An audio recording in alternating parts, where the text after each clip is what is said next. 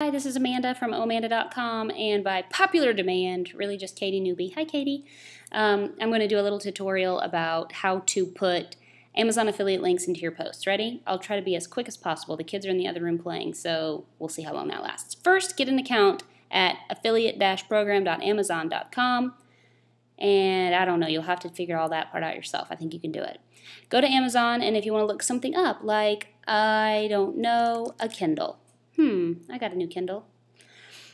And there it is, the Kindle. If you click right there, it'll take you to Amazon. If you down click on here, it'll give you a short link, which is cool if you want to link to Facebook. I mean, link it on Facebook or Amazon, but right now we don't want to do that. We want to get the fat HTML cache. So click on that, and then it brings this up, customize and get the HTML.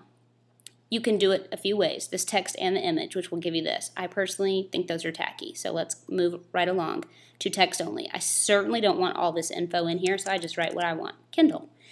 And there's your preview over there. I never click that because I'm lazy. And then right here you can highlight this and copy it.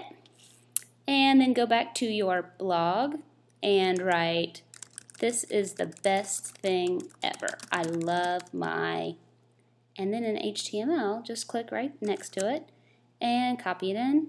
And there it is, I love my Kindle. Sometimes you'll have to fill in a space there. Or if you wrote, I love my Kindle, you could always go in and highlight and just paste over it, which is what I mainly do since I like to write without putting links in first. Okay? Super easy, right?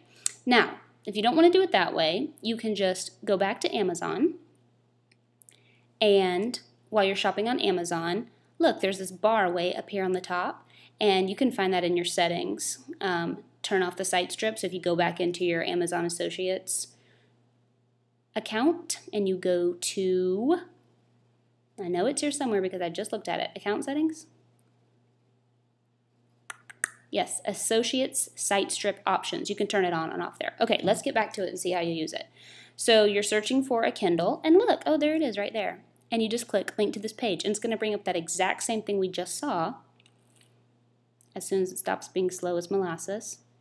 And there you go you can click your text only or your image only. Oh I forgot to show you the image. Let's do that for this one. I like a large image and you just copy and paste it right into your blog.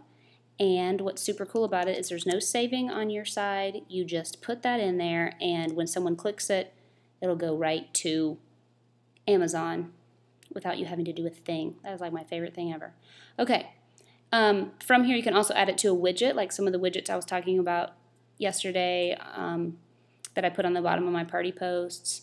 Or if you have a store, which I've tried that before, but I can never keep up with it. If you want to share it directly on Twitter or Facebook, it will generate a link for you. And I don't know, all that other stuff. So, super easy, right? Okay.